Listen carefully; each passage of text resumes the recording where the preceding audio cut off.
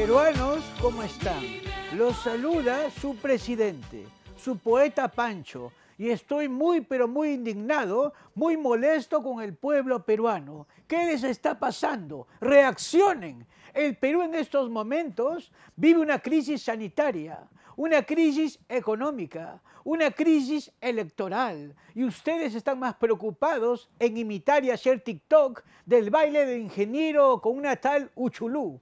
¿Qué pasa, peruanos? ¿Acaso no tienen cosas más importantes de qué preocuparse? ¿Qué clase de ejemplo están dando al mundo? Me avergüenzo de ser su presidente, tira de inconscientes, lleno de frivolidades. Con razón no consiguen trabajo. Vayan a buscar chamba y no le echen la culpa a mi gobierno que no hay trabajo. Vagos.